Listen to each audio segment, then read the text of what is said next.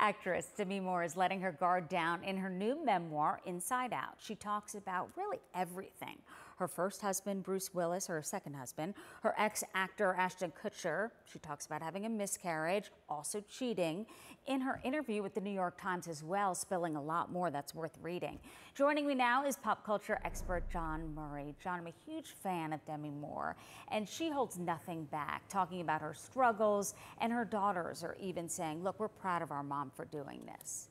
Absolutely, Susan. Demi Moore's memoir sounds like it's going to be more explosive than the recurring role she had on Empire last season because she's letting it all hang out. As you mentioned, she has the revelation that her 15 years younger second husband, Ashton Kutcher, he did cheat on her. And early on in their relationship, she was pregnant and she miscarried after about six months. But once she realized that that relationship was over, her career had hit a low, she turned to alcohol and Vicodin. And she had that episode where she collapsed while out partying with her daughter Rumer Willis started convulsing and ultimately checked herself into rehab. But she's turned the corner. She realized she spiraled out of control. She did the self work, and one of Hollywood's most notorious cougars, she's letting it all hang out and inside out, which will be out in just a few weeks on bookshelves.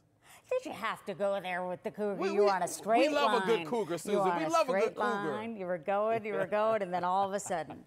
Let's talk Kim K, shall we? Yes. She's getting a lot of pushback, but I think Kim is the type of person, I don't know her personally, I feel like I do, who is the underdog and used to working that way. She says, look, I'm not at Fashion Week, and here's why. I'm studying. Here she is.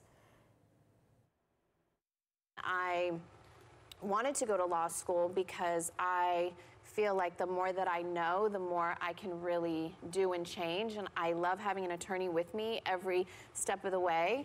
Mm-hmm. Um, You're going to law school? I am. Did you graduate I college? Am. Um, no, I did not. So how do you get Thank you. Yeah. Good for you. That was Kim Kardashian on The View, Jawn, and she's not going to law school.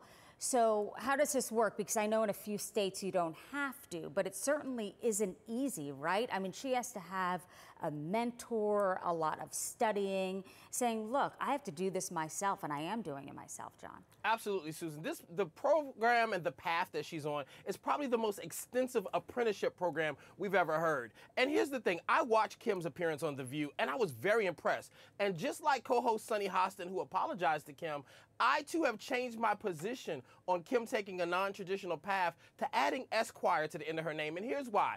Kim mm-hmm. really wants to positively affect uh, criminal justice reform. And we know she's already been working with Van Jones and this administration to do that. She also wants to use her platform to work against the injustices that black and brown people face in our legal system. So all of that's a positive thing. I can also understand why Kim is getting some pushback because this is a non-traditional means to becoming a lawyer.